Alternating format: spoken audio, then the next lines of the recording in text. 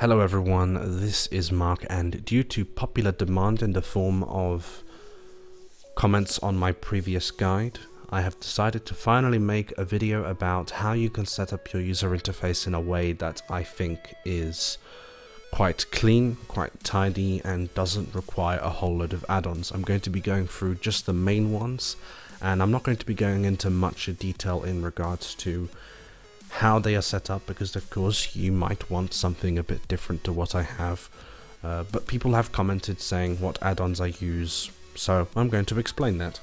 Alright, so the first add-on on my list is called Shadowed UF. Shadowed UF is what I use for my targets, my focus targets as well as target of target, every every bit of party or targeting unit frame that you can think of. It's a unit frame modification as you can tell by the name and very much like XPerl you get a 3D portrait but unlike XPerl this actually looks good. It doesn't look like a messy cartoon replacement of your standard unit frames. It's very customizable which means that you can do things like this. You can move pretty much everything around that you can imagine and in my opinion it's very clean, very simple looking and it's one that I recommend if you want to maybe spice up your user interface a bit.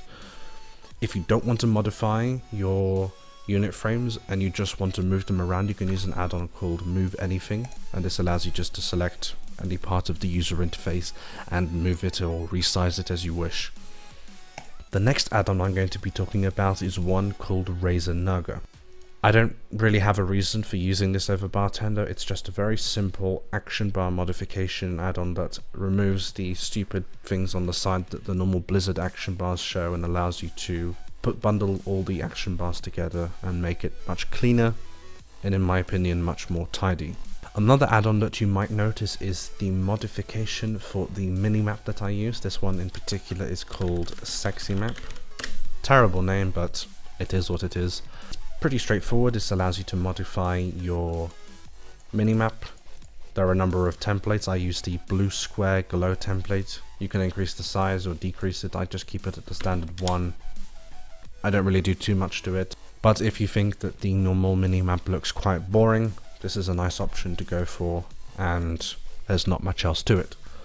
Another add-on that you might notice is this chat modification add-on called Chatter all it really does, for me at least, is you can remove the opacity, you can change the font size, and of course, like the normal Blizzard chat interface, you can just move it around, customize it. It's fairly standard, fairly simple, and I don't use it for anything other than just removing the opacity and resizing it to fit in my bottom left corner.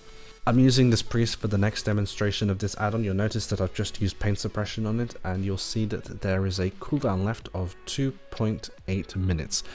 This is using an add-on called Aesa and you can see on the bottom right corner I've placed it over here and it will allow me to see when certain targets have used their main defensive or offensive cooldown. So if I use Bladestorm or if somebody else uses Bladestorm, you will be able to see how long it'll take for Bladestorm to be usable again, or Hammer of Justice, or Avenging Wrath, or Divine Shield, or or any add-on uh, or any cooldown that you might want to look out for. And so it's very useful, very simple, looks nice, doesn't take up too much of the screen, and one that I highly recommend, especially if you do arenas. If you watch my videos, you will have seen is an add-on called Sound Alerter. This lets you hear when certain enemies use certain cooldowns. So it could be offensive, it could be defensive, and I'm going to provide a demonstration right now. If I use Desperate Prayer, and then it'll play the sound as I will demonstrate right now. Desperate Prayer. Desperate Prayer. In quite a nice voice actually, so this goes for Pain Suppression, blade storm, Shield Wall, stuff like that, Divine Shield, pretty much any major cooldown that you can think of. Obviously, it's not going to tell you if you if I use charge or if the priest uses penance or flash of light or anything like that. Another couple of add-ons that I'm briefly going to mention. Gladius, super important, super essential arena add-on. If you do arenas, get Gladius. Don't even ask what it does, just get it and you will see why.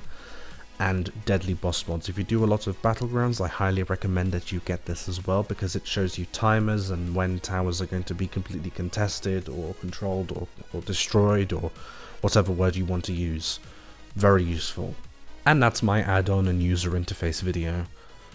To the people that have been asking for this for literally months, I'm sorry it's taken so long, I'm kind of lazy. And well here it is finally and so people can stop asking me. Uh, I hope you found it useful. If you have any additional questions about how to specifically set up certain parts of your interface, whisper me in game. That is the best way to get into contact with me, uh, even though I do get a lot of whispers, so bear with me. If, you, if I don't answer you one time, try again later.